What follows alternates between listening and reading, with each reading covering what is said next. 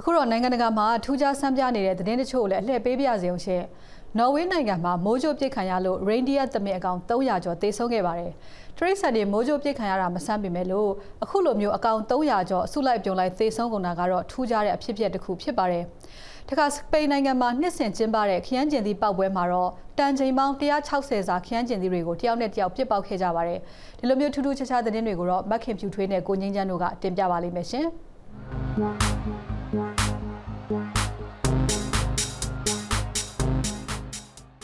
ပိန်နိုင်ငံမှာနှစ်စဉ်ကျင်းပမြဲဖြစ်တဲ့ခရမ်းကျင်သီးပွဲတော်ပြီးခဲ့တဲ့ပုဂ္ဂိုလ်နေ့ကကျင်းပပါတယ်။ဒီပွဲတော်မှာလူတွေတယောက်ကိုတယောက်ခရမ်းကျင်သီးတွေနဲ့ပြစ်ပေါက်ဆင်နွှဲကြတာပါ။စပိန်နိုင်ငံရှိပိုင်းမှာကျင်းပတဲ့ဒီပွဲမှာကုန်တင်ကား6စီးအပြည့်ခရမ်းကျင်သီးတန်ချိန်160ကိုသုံးပြီးတော့ကျင်းပခဲ့ကြတာပါ။နိုင်ငံသားသားခီးသွွားအမြောက်များဝင်ရောက်ဆင်နွှဲကြသလိုလမ်းတွေပေါ်မှာလည်းခရမ်းကျင်သီးအနှစ်အဖက်တွေပြည့်ရှံသွားခဲ့ပါတယ်။ တချို့တွေကမျက်လုံးတွေကိုကာကွယ်ဖို့ရေကူးမြစ်မှန်တွေကိုတက်ဆင်ကြပါတယ်။ဒီပွဲမှာပါဝင်ဖို့တယောက်ကို17ဒေါ်လာကျတင်တယ်လို့ဒီနှစ်မှာတော့လူ2000ကျော်ပါဝင်ခဲ့ကြပါတယ်။ခရမ်းကျင်သီထုတ်လုပ်တဲ့ဒေသဖြစ်တဲ့စပိန်နိုင်ငံအရှေ့ပိုင်းကဒီပွဲတော်ကို1945ခုနှစ်လောက်ကတည်းကကျင်းပလာတာဟာဆိုရင်နှစ်ပေါင်း80ကျော်ရှိနေပါပြီရှင်။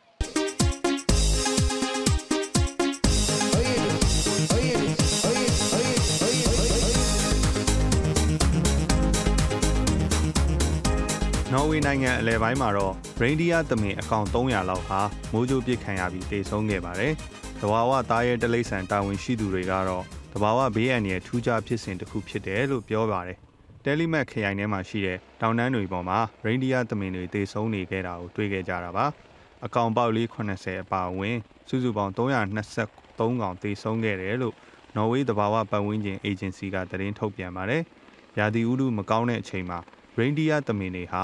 ပူပူကက်ကက်နေလေးရှိတာကြောင့်အခုလိုအစုလိုက်ကြီးတေဆုံးသွားရတာဖြစ်နိုင်တယ်လို့လည်းတဘာဝပတ်ဝန်းကျင်အေဂျင်စီပြောခွင့်ရကပြောပါတယ်ဒီတောင်တန်းဒေသတလျှောက်ဟာရိန်ဒီယာသမင်တွေရှေ့ပြောင်းသွားလာရမှာသုံးတဲ့လမ်းကြောင်းလည်းဖြစ်ပါတယ်ခင်ဗျာ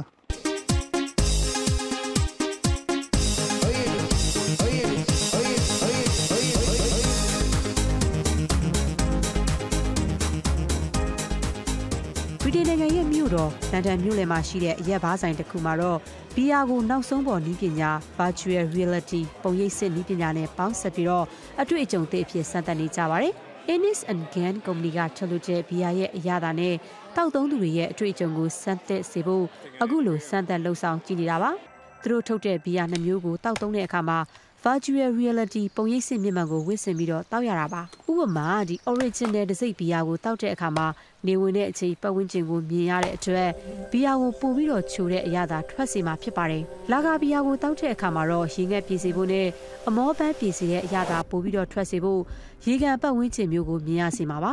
တချို့တွေအတွက်မျက်မှန်ကြီးတက်ထားတဲ့အချိန်မှာဘီယာတောက်ရတာအခက်အခဲရှိစေမှာပါပြီးခဲ့တဲ့ဩဂတ်စ်လတုန်းကအင်္ဂလန်နဲ့စကော့တလန်မှာရှိတဲ့အရက်ဘားမျိုးစုံမှာအခုလိုအတွေ့အကြုံကိုစမ်းသပ်ကြည့်ခဲ့ကြတာပါရှင်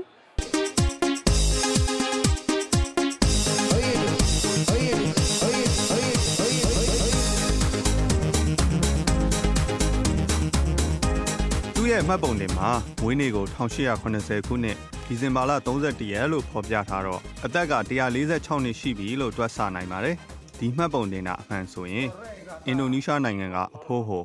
မီစီဒိုမန်ဂျိုဟာကမ္ဘာပေါ်မှာအသက်အကြီးဆုံးပုဂ္ဂိုလ်အဖြစ်သတ်မှတ်ခံရမှာဖြစ်ပါတယ်။အီတလီကကမ္ဘာအသက်ကြီးဆုံးပုဂ္ဂိုလ်လို့အသက်မှတ်ခံထားရတဲ့အသက်116နှစ်အရွယ်အမျိုးသမီးကြီးထက်အသက်30လောက်ပိုပြီးကြီးသူဖြစ်ပါတယ်။စီဒိုမန်ဂျိုဟာအမျိုးသမီး၄ယောက်နဲ့အိမ်အောင်ကြခဲ့ပူပြီးသားသမီး၃ယောက်ထွန်းကားခဲ့ပါတယ်။ မိသားစုထဲမှာလည်းသူတယောက်ပဲအသက်ရှိကြံရည်ခဲ့တာဖြစ်ပါတယ်။မှတ်ပုံနေနဲ့ကသူ့မွေးနေ့မှန်မှန်မှန်ဆိုတာကိုတော့အင်ဒိုနီးရှားအာဏာပိုင်တွေက